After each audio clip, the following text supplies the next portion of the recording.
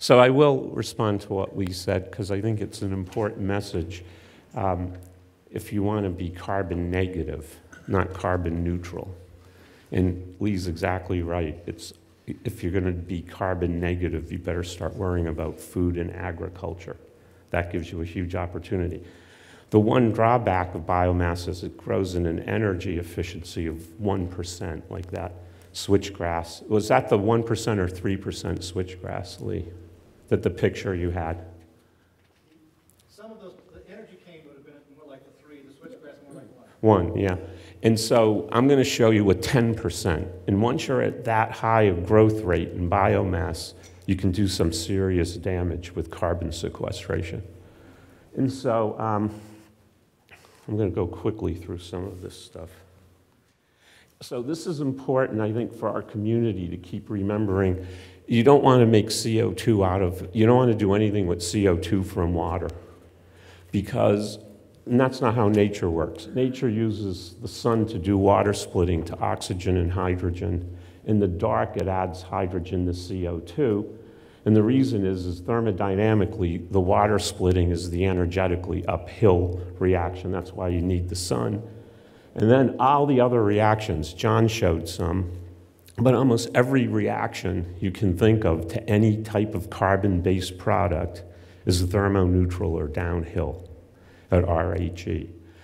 And that's why nature does it in the dark. Now, the advantage of splitting the water splitting up from CO2 reduction is if you're a little electron and you want to do, you have to reduce CO2, and there's a bunch of protons around from water. I don't know about you, but as an electron, I would go do the easier thing and reduce protons to hydrogen.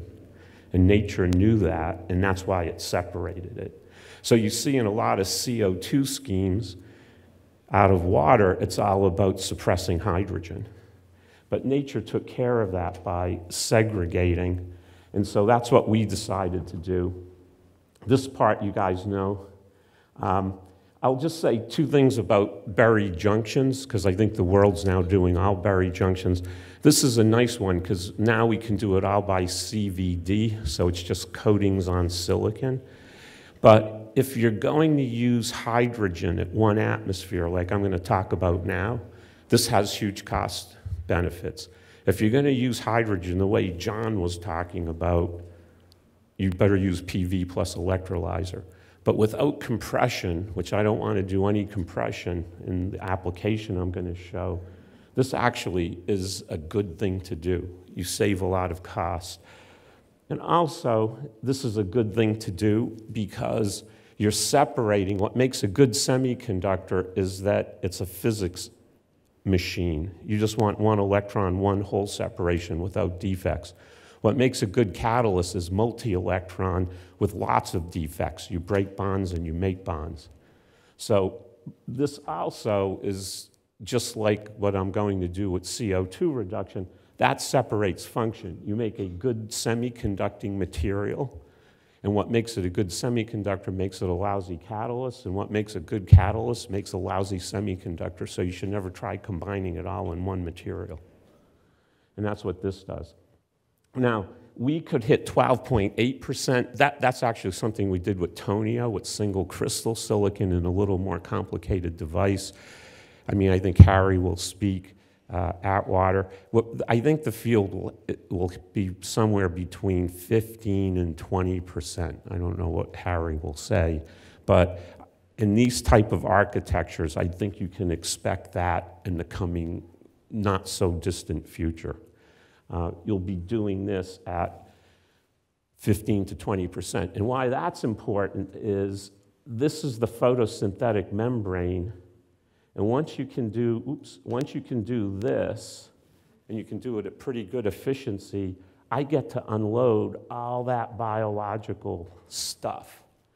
Because all that in the photosynthetic membrane, which I'm now, this is PS1, that's PS2, and the BC complex in between, that's all in the membrane. You can get rid of it, because all that's there to do is to split water to oxygen and hydrogen.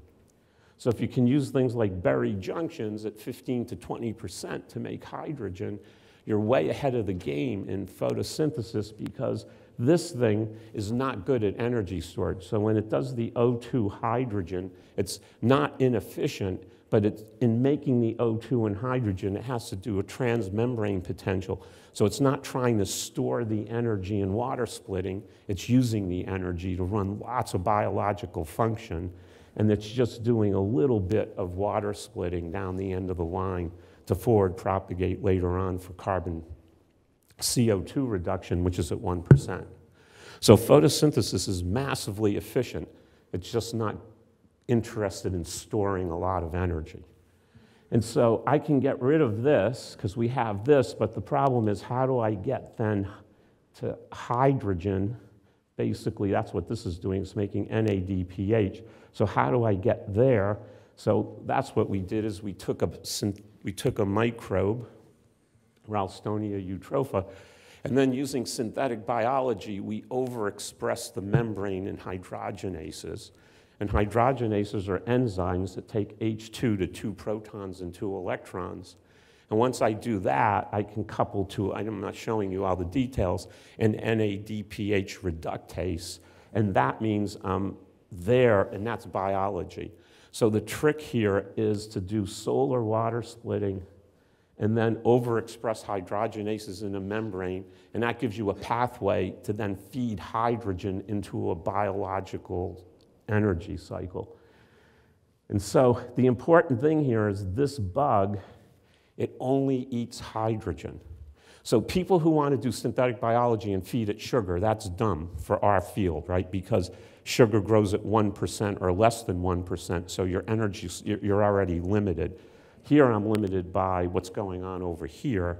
So I've freed myself of that limitation, and then this bug will die if it doesn't eat hydrogen. And it, eat hydro it eats hydrogen right straight from the uh, materials we use for the leaf. And so the bugs will grow, and you can grow biomass. They literally eat hydrogen. I run this cycle, and they basically run a fatty acid, or I can run a Calvin cycle, and they grow. Two goes to four, and four goes to eight, and so on, and you get an exponential growth curve. The other thing you can do from this is acetyl coenzyme A, you can put four genes in here, and we put these four genes in, and that's a ketodiolase, a transferase, a decarboxylase, a dehydrogenase, because that's the chemistry they do. So a ketodiolase breaks that bond and makes a CC bond. That's what that enzyme does. So that's why you put that gene in. CTF does a hydrolysis. I make the carboxylate. Then I decarboxylate, so I put ADC in, that's a decarboxylase enzyme. And then I do a hydrogenation. So this bug makes acetone. And then it gets hydrogenated to isopropanol. And then you can, in, in Tom showed his cobalt phosphorus or cobalt phosphide. When we first did this in 2016, that's the catalyst we actually used was cobalt phosphide. I will tell you, it's not cobalt phosphide that's the active catalyst. We, we know the reason why that thing's so good at making hydrogen is you make a thin phosphate layer, and then the phosphate does proton absorption, and it manages all the proton-coupled electron transfer. That's why that thing is so spectacular at making hydrogen. But the other reason why it's important is it doesn't poison the bug.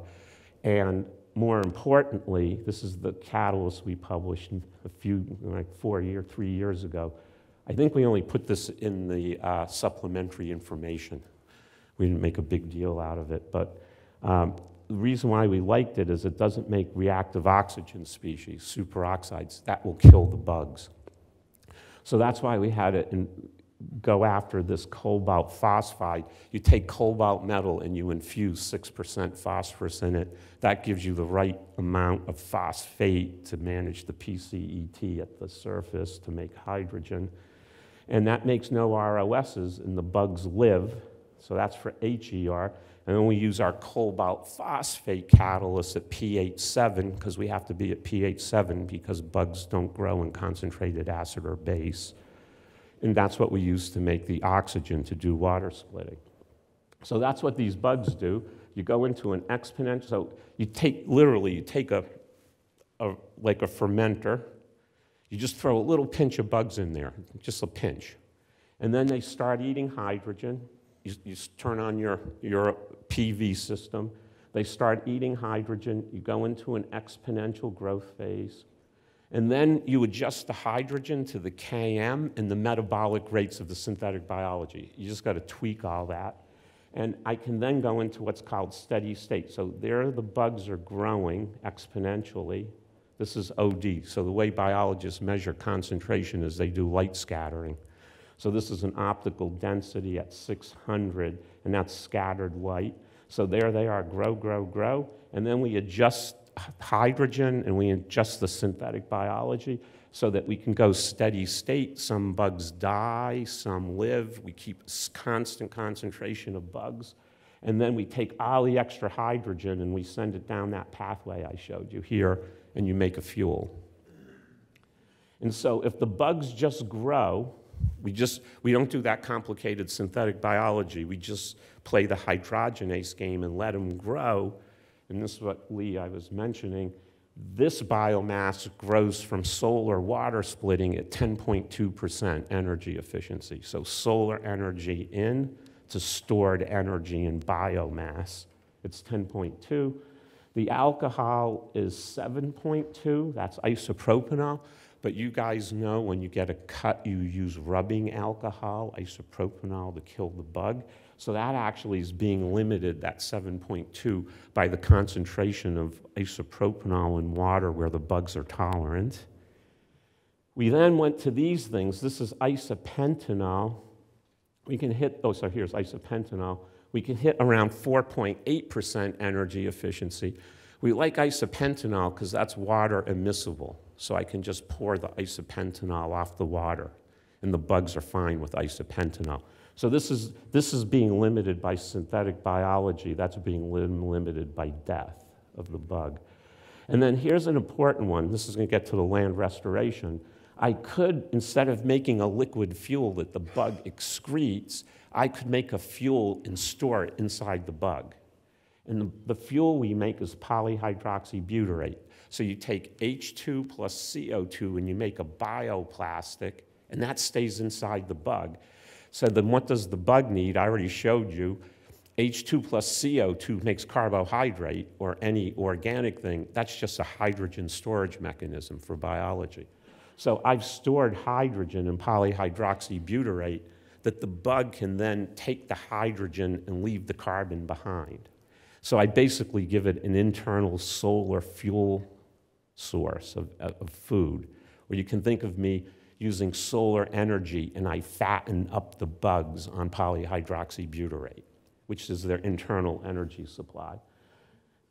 Um, just this is something we've done in the last few months. We haven't even published this. Um, depending on when we cut from this acetyl coenzyme A, I can let carbons just keep growing and then cut. That's called a dioesterase. So we just did this because we wanted to get to gasoline and higher carbons, diesels. I think uh, that's something Karen was talking about. So if we put that gene in there, it's only one extra gene. So here's the bugs. They begin growing. Uh, Up here is dodecane. And then by day two, they're, they're making a C8 acid, CO2. We can either esterify that and make a diesel fuel or decarboxylate it and we make heptane. If we want to make gasoline or some higher chain carbon, we just go higher carbon and then you decarboxylate, you lose one carbon. But it gets collected here and then I can just pour that off. That's kind of nice. So you can get evens. This is the data I just showed you, or that's what's in here. That's the C8, totally selective for C8 fuels. If I use this gene, if I, and, and then I use acetyl coenzyme A, I can get to C12s, but I can play a different game. I can put in propionate, and that gets me to propionyl coenzyme A, and that has three carbons. Then I can add two at a time, and I can get odds. So this is with propionate, that's with acetate, and I can get C11s and 13s, and those are diesel fuels. We haven't published this yet. Okay, that was warm up. We have PHB, that's what I want you to focus on. And everybody's been talking about nitrogen. So that's in the air. Now remember, these bugs, I don't do CO2 concentration. They have carbonic anhydrases, just like grasses. So they are doing their own CO2 concentration with carbonic anhydrase. We're just passing air through, and they're eating the CO2. You can do the same thing. The other thing in air is nitrogen. So what we do is we take a different bug. This is a different bacteria called the xanthobacteria. We play our hydrogenase game and what we do is water splitting CO2, but not to a liquid fuel now. We do that polyhydroxybutyrate.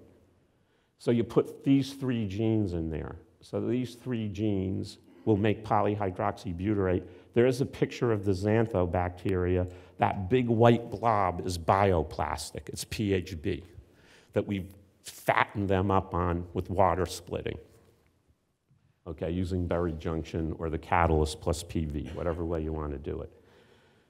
Then, once I have that there, they never need to see sun or water for hydrogen ever again because I've stored hydrogen with CO2 here. I can then take the bug and put them in the ground. And now I basically have solar energized the bug by storing solar energy as a fuel inside the bug it can draw on the PHB and then run a nitrogenase cycle. Those little things there are all nitrogenase enzyme sites. And I can grow solid biomass. The other thing I can do is put a small molecule block in the pathway and not let the nitrogen forward propagate to solid biomass, and I can make ammonia. So here are the bugs growing, growing just like before. And it's, the red curve here is all solid biomass. Then if you want ammonia, I put the small molecule block. The bugs go steady state, and then I start making ammonia. You can do N15 nitrogen and prove all your nitrogen's coming from the air because all my ammonia has N15. Because it's a nitrogenase cycle, I make hydrogen, I can measure turnover frequency and I find out that these bugs are turning over 3.1 times 10 to the ninth per cell of nitrogen into either solid, in this case, solid biomass.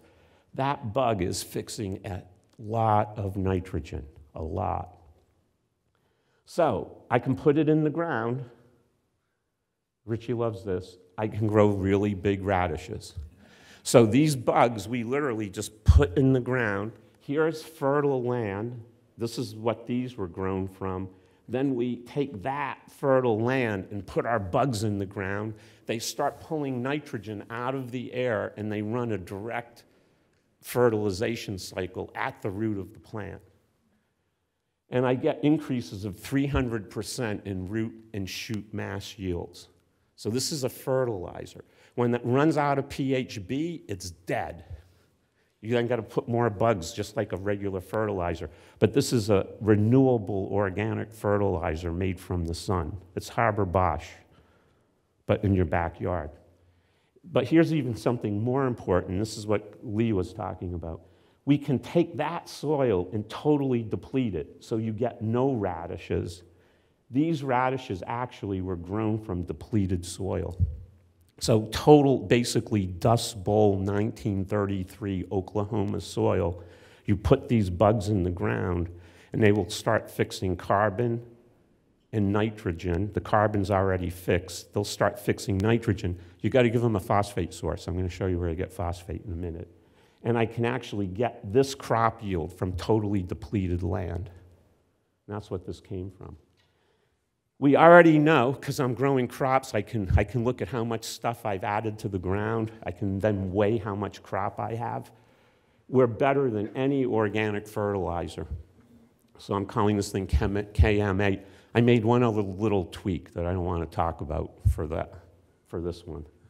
Um, and we're, we're already, in terms of a cost, we're way better than organic fertilizers. But here's something remarkable.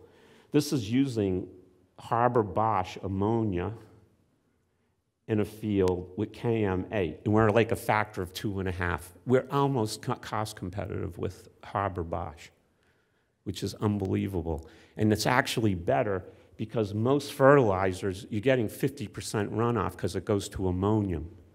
Dissolves in water and runs off.